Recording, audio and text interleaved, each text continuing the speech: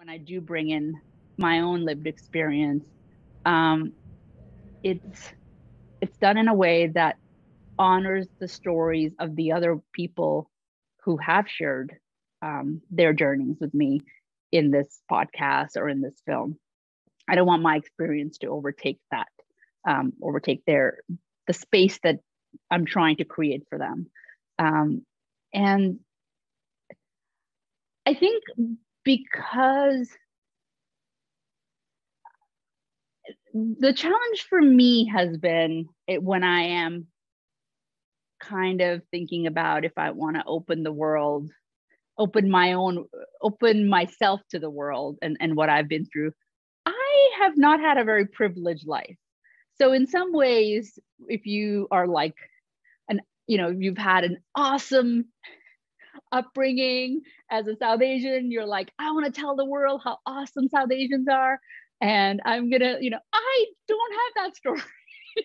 so I, you know, that for a long time I just thought I don't I don't want to raise my hand and say, oh, here's my shitty life story because I always worried that it would get used to justify the racism that's directed towards people in my community.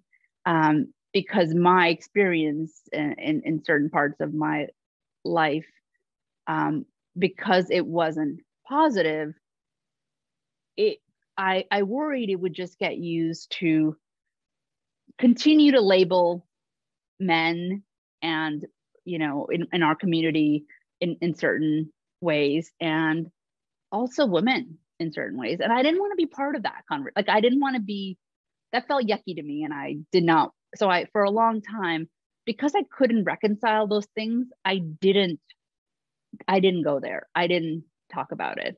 Being on this podcast, um, which is about the disappearance of a um, woman in um, in the suburb of Toronto. I shouldn't say suburb; it's a smaller city. Um, you know, which is about an hour away from where I grew up. Um, there were so many ways that our lives overlapped and, and sort of there were parallels in our lives that it felt to me actually for transparency and uh, to the audience that I wanted to share that this is actually a world I do know something about. And just talking about this is bringing up these feelings and, and these in these moments in my life that I don't want to talk about. Um, so I thought the best way to do that is just to be honest about it. And I also felt, you know, what, what I thought a lot about was how do I tell this story? How do I tell my story without it being used as a stand in for all Muslim women? Because that's a very uncomfortable place to be. I do not represent 1.8 billion Muslims. I don't want to represent 1.8 billion Muslims, right? Like, and and some because there aren't enough representation of Muslim women telling their story. When we do hear somebody, we just kind of they become they're it. You're it. You're our, you know, and that's that's uncomfortable, but also unfair, right? Because it silences you.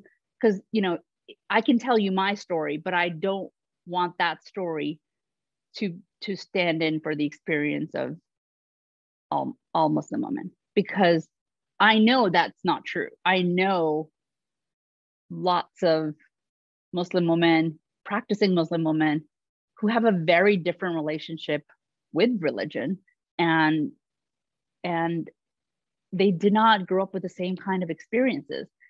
I so the stories we do hear about Muslim women reliving a you know part of trauma in their life, it's always from this place of this happened to me. It's terrible. Islam's terrible. I want to have nothing to do with it. That that's that, right? Like there's there's the we we've allowed there to be space in media to tell those kinds of stories but when you're not in that space, when you're like, no, these shitty things happen to me and I think we should talk about it. But I certainly do not think that that means this is how we should demonize all Muslims or Islam. I think this is it's way more complicated than that, and it that I I was not hearing those narratives. Um, I was not hearing those stories about Muslim women from their own perspective or about them. Um, so that was scary because I wanted to see examples of how that was done well, and I couldn't find any. And I was worried. I don't know how to do this. I don't know how to voice the experience of myself and of, you know, the lived experience of this woman in my in my investigation um, that is that is not always positive in in her relationship with with male family members. Um, i don't how do you talk about that? How do you talk about the ways your own community can prop up patriarchy um, while at the same time not wanting to contribute to the racism that exists against them. I struggle with that a lot. And the way I ended up addressing it is just to say that, you know, I don't know, I don't know the right way to do this. So bear with me. I'm trying, but like, and here's what I'm worried about. I ended up, I ended up just saying that. I ended up just saying, I'm worried you're going to listen to my story and you're going to think all Muslim women experience the same thing. And please don't do that because that's not true. Um, and how silencing that that can be to sort of know that you can't speak for yourself you or or the fear that you can't speak for yourself because we don't give space to complicated stories about communities of color. It's always bad or good. There's no middle. um, and I wish, like, I want, I don't know if, and I, and I I'm, I'm certainly not claiming this is sort of the be all and end all of how to negotiate that as an artist or as a journalist. But I hope it starts the conversation that we we want to talk about these things in our community but we also want to acknowledge we're telling you the story in an environment that's extremely hostile towards people in my community and and